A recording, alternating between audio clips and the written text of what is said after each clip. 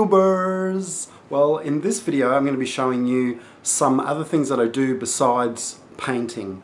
Um, as some of you know by following my Instagram, uh, I also do, I make cushions and I also do customized caps uh, because I love wearing caps of all sorts, shapes, colors, that sort of thing.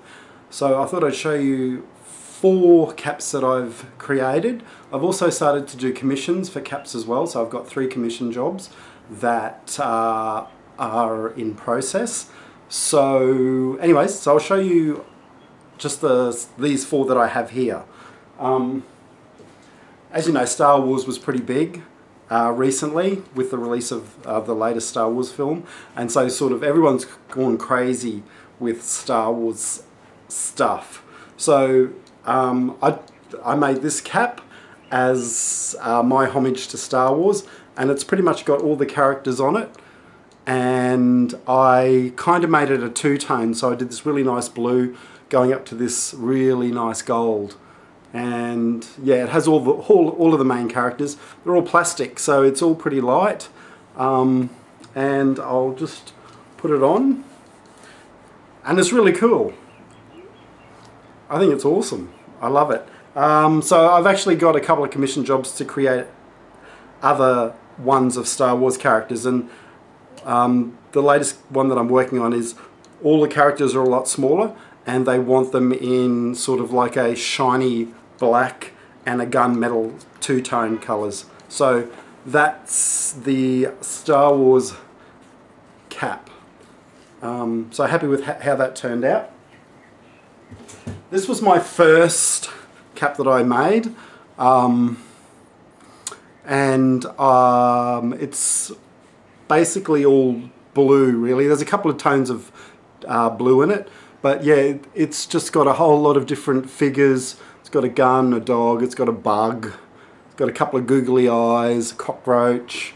Um, this was a really fun piece to make. And I guess where I got the idea for these caps was I'm really interested in the American um, club kid scene where fashion and art and dance sort of uh, is like really really interesting to me especially in New York. And you know I follow a few people on Instagram that are a part of that scene and it's great to see their art become parts of their their clothing and it's really interesting. So this was kind of um, my version of that because I really like the idea of wearing baseball caps but with sort of embellishments on them. So this, and because there's so much involved and lots of lots of things going on on the caps, by just spray painting them all the one color or a couple of colors, it kind of makes them uh, makes it more of a cohesive piece and it doesn't stand out as much yet when you actually look at it you can actually see all the really great details uh, of it. So that's my reason for doing everything in one or two toned tonal colors. So it's not over the top. You can actually um, you know it's actually toned down which is what I like. So that's that cap. Um, then the second one I made was this one. This time I glued in lots of little eyes. I'm not sure if this cap's finished yet, but I'm pretty happy with the majority of it. You know, there's a rose, there's a rose there.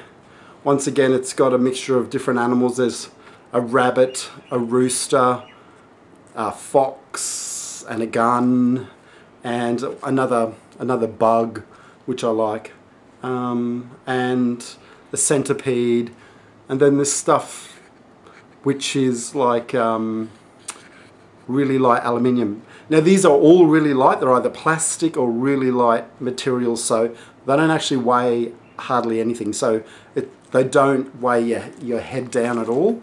Um, they don't feel heavy enough. You could actually, like I feel like you could wear it out and not feel like it's, you know, pulling your face off um, or giving you a facelift which may be a good thing. So that's that cap. Um, now this one was um, was a takeoff on Australia Day, and it's got everything typical to an to Australia Day in a lot of ways. So you've got your thongs, you've got your barbecue, so you've got your fried food, you've got your fly that's always yeah hanging around, um, tomato sauce, and then you've got your utensils and more thongs up, more thongs up the top. So yeah, so this was a bit of this was a fun cap to make, and it's great to wear on Australia Day or even at a barbecue. It doesn't have to be. Um, Australian thing, although thongs are very Australian in a lot of ways. Thongs, flip-flops, whatever you want to call them. But yeah, so that was a great piece to make. And once again, all very light, lightweight, um, and spray painted it this really nice blue, uh, which I like as well. So, once again, and you know, you can wear them, you can wear them any way you like. You can even wear them, a lot of people wear their caps to the back like that. So you can just go like so, which is cool. So, you know, you don't have to be, it doesn't have to be in your face. It can be subtly behind you so people that walk behind you can actually see it, which is cool too. Um, and that's the four caps. I, I have made another one with superheroes, which I'll put a picture of because I don't actually have it because um, that was a commission job which uh, the, uh, the owner now has. Um, I'm working on another Star Wars cap, like I said, and I'm also working on. Um, a lady wanted a lotus inspired, oh, sorry, a yoga inspired cap. So I'm going to put a lotus leaf on it. She said she wanted someone in a pose doing the downward facing dog, but I actually thought of getting an actual dog figurine and turning it upside down. So it's like the downward facing dog um, as a reference to that. And maybe a yoga mat or or some sort of Buddha or something that's sort of spiritual represent like has that representation of spirituality. Um, so they're a lot of fun.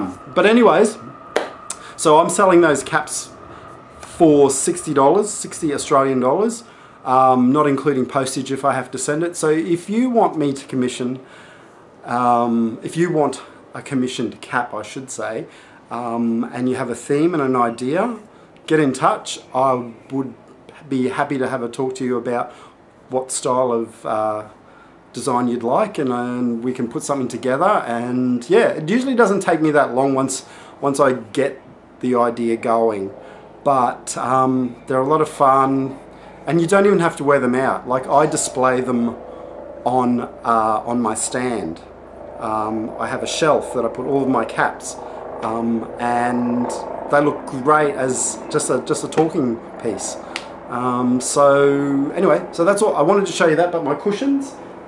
See, I'm also making cushions, so I screen print them all. Got a sewing machine. See, taking sewing at school was handy in high school. Um, that's the only time it was ever handy.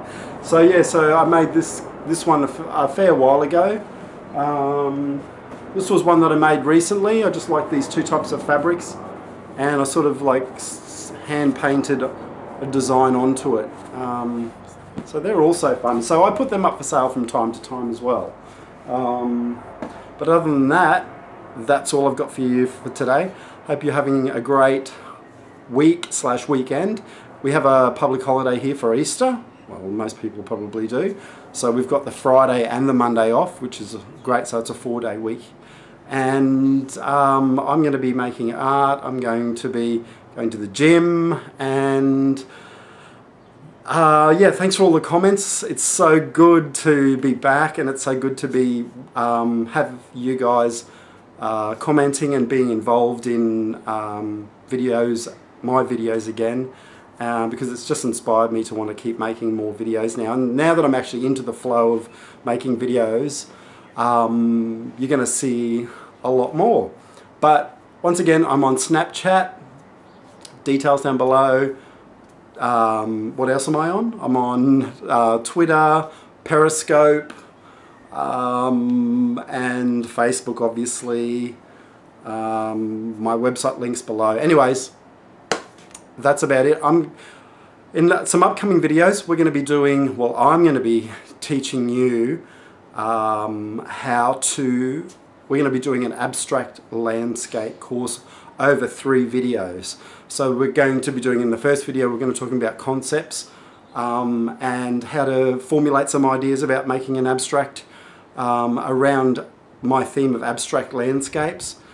In the second one, we're actually going to be making it and doing it and working on it. And then finally, the third video is going to be about critique and uh, finalizing the artwork and knowing when when it's time to stop and all that sort of thing. So I, I just thought that'd be a, that'd be a, a bit of fun. And those of you that want to do that mini course, you can, and those that just want to watch can.